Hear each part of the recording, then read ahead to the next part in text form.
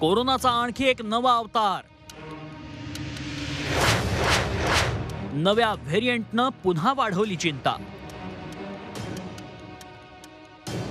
Delta ओमायक्रॉनचं संकट त्यात I H चा धोका. अख्खं जग ओमायक्रॉनशी झुंजतंय. डेल्टा आणि ओमायक्रॉनचं संकट कायम असतानाच कोरोनाच्या नव्या अवतारानं जन्म घेतलाय. फ्रान्समध्ये आय एच यू हा कोरोनाचा नवा व्हेरियंट समोर आलाय. त्यामुळे वैद्यकीय क्षेत्रात पुन्हा खळबळ उडाली आहे फ्रान्समध्ये आतापर्यंत आय एच चे बारा रुग्ण सापडले. या व्हेरियंटचे सेहेचाळीस म्युटेशन झालेत.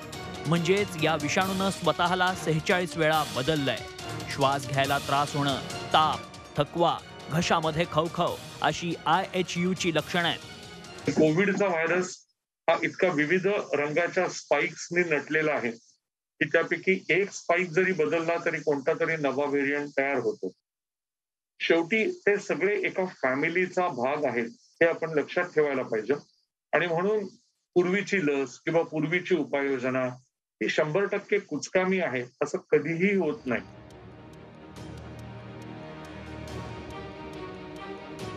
फ्रान्समध्ये ज्या रुग्णांना आय एच यू झालाय ते सगळे दक्षिण आफ्रिकेतल्या कॅमेरून मधून फ्रान्समध्ये परतले होते. त्यांनी लसीचे दोन्ही डोस घेतले होते. कोरोनाचा हा नवा व्हेरियंट ओमायक्रॉन इतका वेगानं पसरत नाही. तसंच फ्रान्सच्या बाहेर याचा फैलाव झाल्याचे पुरावे समोर आलेले नाही. डब्ल्यू एच ओनं अजून तरी या व्हेरियंटची दखल घेतलेली नाही. त्यामुळे आय एच यू बद्दल बऱ्याच गोष्टी समोर यायच्या आहेत. पण या नव्या व्हेरियंटनं टेन्शन वाढलंय एवढं नक्की.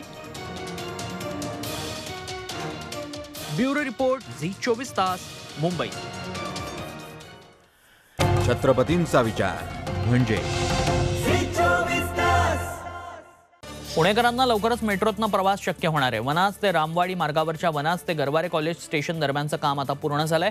या महिना अखेर त्याचं उद्घाटन होण्याची अपेक्षा आहे.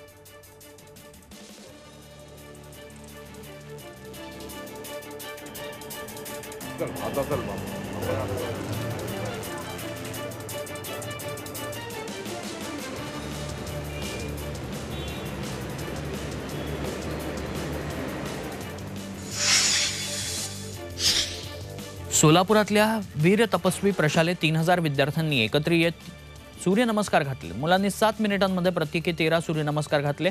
स्वातंत्र्याच्या अमृत महोत्सवानिमित्त आयुष मंत्रालय गीता परिवार आणि पतंजली योगपीठानं पंच्याहत्तर कोटी सूर्यनमस्कारांचा संकल्प केला आहे त्यात सोलापूरमधून अकरा कोटी सूर्यनमस्कारांचं योगदान दिलं जात आहे पुढील एकवीस दिवस शेकडो शाळांमध्ये हा उपक्रम राबवला जाणार आहे.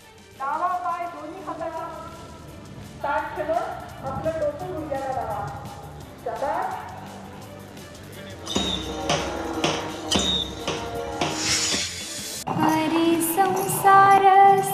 बहिणाबाईंची जात्यावरची ओवी म्हणजे?